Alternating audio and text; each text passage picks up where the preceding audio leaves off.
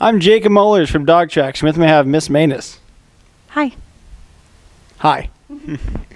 so, Miss Manus, um, the Colton's Madrigal Feast thing is happening tonight. Um, would you mind explaining us what that is?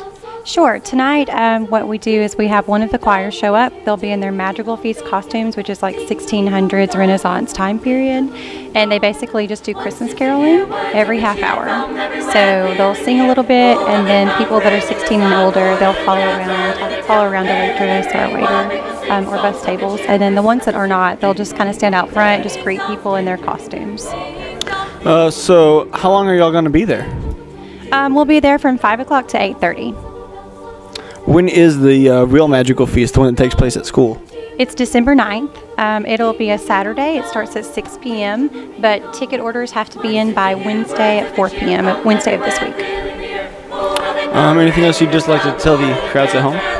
Uh, it's, it's always a really good experience to kind of watch something that's a little different. We, we kind of uh, put it in the category of dinner theater because there's also some acting, there's a jester, there's a, a character skit that happens, um, lots of singing, and of course, audience participation. The audience gets to get up and, and do a dance, and we teach them a dance. So it's always a really fun time. So I encourage you to come out and just kind of get in the holiday spirit.